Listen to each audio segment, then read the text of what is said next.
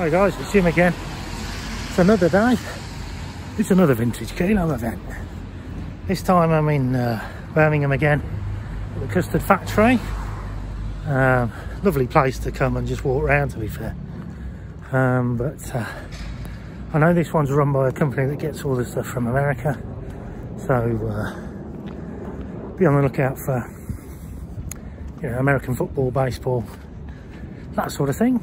Um, I am late, it is three o'clock. It's been out all day. Um, but hopefully there'll still be some stock. I know they replenish all day, so should be all right.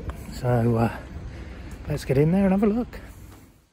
Okay, so that was another vintage kilo. Sorry for the lack of um, footage from inside. The next one I'm going to go, I'm going to get my GoPro sorted out and take that along for a bit more footage, so a bit more, um, bit more entertaining than just saying, hi, it's me, I'm going to a um, vintage kilo, here's the forgot.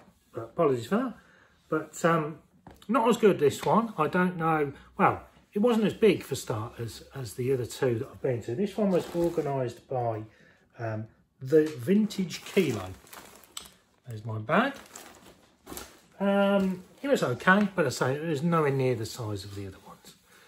Um, this one was, um, as far as I can work out anyway, um, all stock from America. Um, and there was tons of Ralph Lauren. Uh, polo shirts, shirts, things like that. I'm always wary of, of Ralph Lauren, to be fair, but in hindsight, I think it's worth going just and just bagging loads of Ralph Lauren polo shirts. I checked labels on a few. I, in fact, I think I got some, and they all looked absolutely fine to me. I know it's a very grey area, um, um, Ralph Lauren, but these looked all fine. So I think next time I go to one that's organised by this company, I'm just going to fill a bag with Ralph Lauren polos because, I mean, you could get three or four for a kilo. So they're going to owe you about £3 a piece. And they should easily sell for between 12 to 15 pound, no problem at all. If you can get ones that are a bit um, rarer or, you know, stand out a bit more, uh, then that's all the better. So today, um, I got 2.9 kilos, I think. So it was £43.75 because you actually have to pay for the bag here. They're not free. So that's a bit different. So next time I go to one of theirs, I will take my own bag. Then I don't have to pay 25p for the bag. Um, I tried to concentrate on stuff that I know, so sporting equipment again. I looked through the denim shirts and stuff, couldn't find any brands like Wrangler and Levi's. If I did, I'd pick those up. Um, and a lot of it, so it wasn't as big, and a lot of it was dresses and things like that. And I really do not know what to look for when I'm looking at dresses. So I still do want to know. Um, and mostly, it's mostly t-shirts. I think it's all t-shirts and a couple of polos. Um, we've got this really nice Kentucky Wildcats um, t-shirt. Um, they are, as far as I know, a college uh, football team. What else have we got in here? They're all stuck together. This is um, Kings of the Court, which is the Kings, I can't think where they're from, the Kings um, National Hockey League. Um, there is a mark on that on the G, but it's not too bad and it is vintage. 2012. Is that vintage? Does that classify as vintage? I suppose it's eight years old now. Um, so that, nice t-shirt there. Um, this one is the Oreos, Ore, Orelo, Orelos. I don't know how to pronounce it. And it's got uh, Mercado 13 on the back. Again, I believe um, Sorry, just got uh, sidetracked there with the label. It's Majestic, um, which is a very good brand to find when it's American um, things. A nice t-shirt there. Who's this one here? Carolina Panthers. That is uh, XL. I might well be keeping that because that is awesome. A lot of it, as I say, was um, college stuff. And I'm not, I don't know on college stuff, so I'm going to look out, I'm going to do a bit more research on that. Um, 2011 uh, National Conference champions New York Giants, American football, and it's got on the back, it's got uh, the squad, so all the players that played for them. So that is nice, that I do like that one. Who have we got here? NBA champions. Again, I don't know who they are. I'm not big on NBA. I like my NFL, but I'm not big on NBA or anything. But it's the 2016 NBA ch champions. I don't know who they are. The Knights, maybe. I'm not sure. Um, judging by the sword.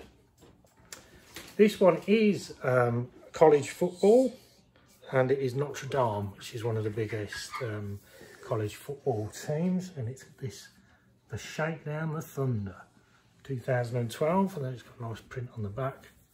The pride and tradition of America. 125 years of Notre Dame football. Very nice. Let's get these two. What we got here? Um, the Rangers. They are a NHL team.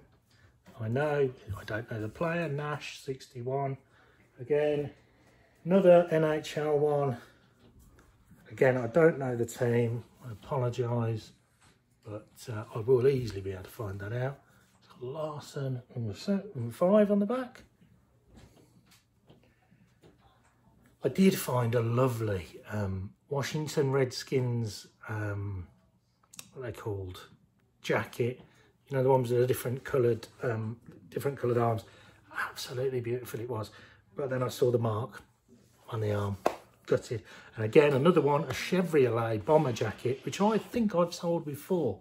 And that had a hole in, gutted, gutted. Trojan volleyball.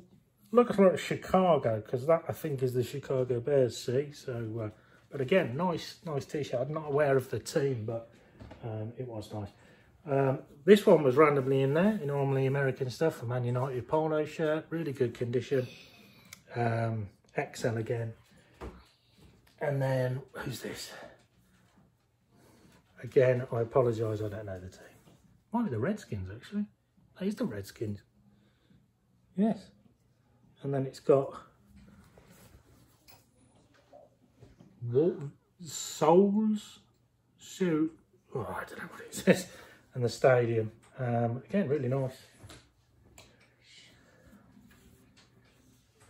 Chattanooga Lookouts. That's cool. Two more. Probably getting bored by now. Alabama, Crimson Tide football. They're again a college football team. And then this one I really liked. Shame it doesn't fit me.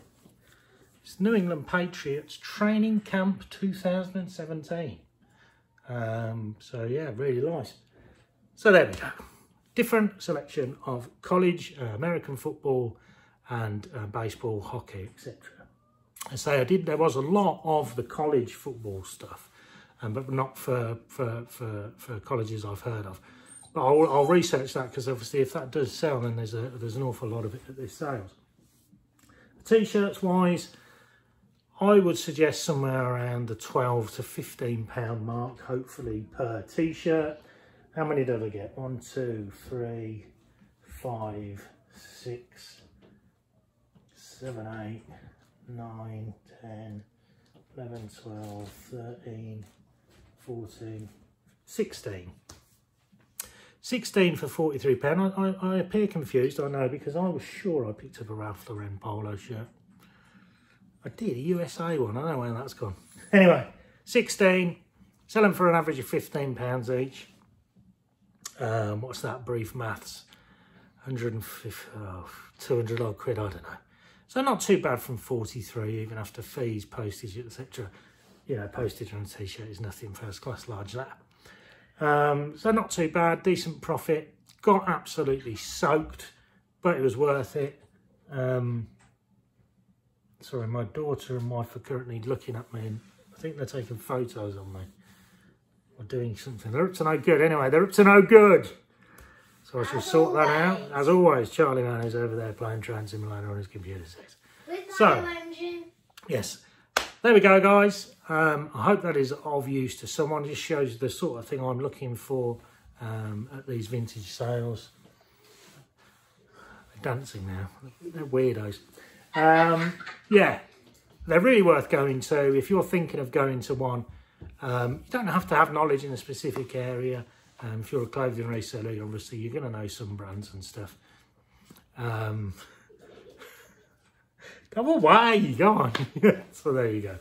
Sorry about the interruptions. Next time I will do it when it's just me in there because then I won't have any. I'll see you next time. Thanks for watching. See you later.